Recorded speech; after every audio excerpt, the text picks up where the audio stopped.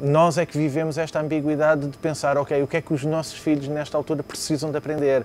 Precisam de ir à rua, precisam de aprender aquele, aquela vida mundana que nós, que nós sempre tivemos, a, a vida normal, a vida ri, real, mas ao mesmo tempo sabemos que lhe temos que dar formação virtual. Temos que uh, lhes passar os instrumentos para a mão, porque se não os dermos, eles provavelmente vão ter dificuldade, tal como nós tivemos, em adaptar-se a eles. Uh, o que acontece depois é que uh, it takes a village, como, como, nós sabemos, portanto é preciso uma aldeia para educar uma criança.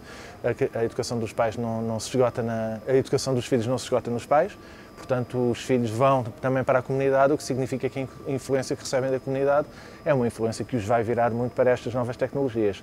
Por mais uh, uh, resistência que os pais possam, possam ter, ou por mais uh, rotinas ou um ritmo mais pausado que tenham na formação, a verdade é que depois, quando os miúdos saem para a rua, são confrontados com uma realidade completamente diferente.